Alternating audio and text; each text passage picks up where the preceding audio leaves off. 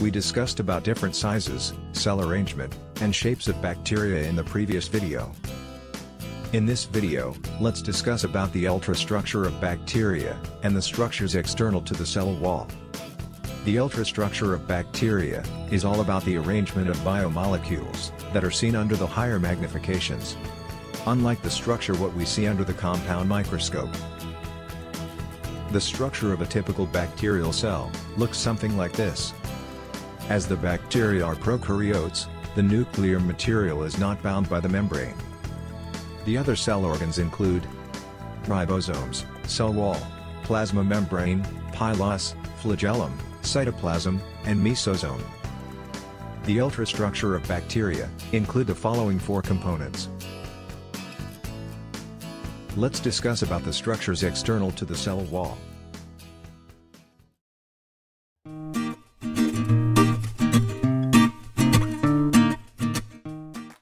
Flagella are thin and hair-like structures. They come through the cell wall, and mainly function in motility of bacterial cell. The location of the flagella on the bacterial cell wall, varies depending on the species. Bacteria with single flagellum is called monotrichous bacteria. Bacteria with two flagella, located at each ends is called amphitrichous. Lophotrichous are the bacteria, that has cluster of flagella at one or both ends. Peritrichous, has got many flagella all around the cell wall. Atrichous does not have flagella at all. Flagella has got three basic parts. Basal body, hook, and filament. Basal body, is structurally complex part of the flagellum. And it is the only part of the flagellum that is inside the cell wall. The basal body in gram-negative bacteria, has four rings connected to a central rod. The L ring remains outside, and fixed in lipopolysaccharide layer of the cell wall.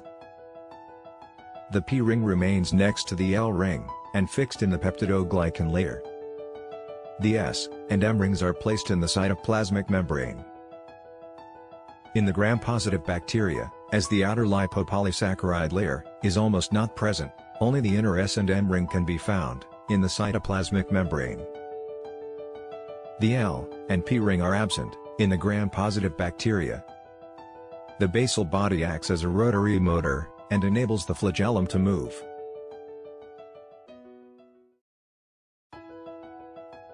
Hook is the short and curved structure, that connects, basal body and filament.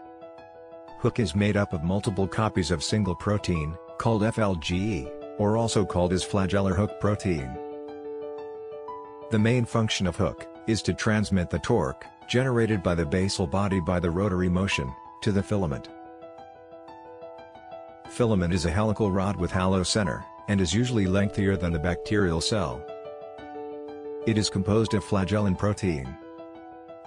The main function of filament is to act as propeller, and drive the bacteria. Pili are short, hollow, non-helical, and are more in number than flagella. However, they do not involve in motility. Because, pili are also found in non-motile bacteria. Pili serve as the port, between the two bacteria, to transfer the genetic material during the bacterial conjugation. These are known as F. pilus. Some pili, help bacteria to attach to epithelial cells of host body, during infections. This prevents the bacteria from being washed out by the body fluids, and therefore spread the infection. Capsule is a polysaccharide layer, that found outside the cell wall. Many bacterial cells secrete some extracellular material, in the form of a capsule, or slime layer. It is believed that, capsule is being hydrophilic, it always keep the bacterial cell surface hydrated, and makes it slippery. Therefore help the bacteria, escape from phagocytosis. Thanks for watching. If you liked the video, please hit the like button or comment and share. Please do subscribe to my channel and press the bell icon to get notified on the upcoming videos.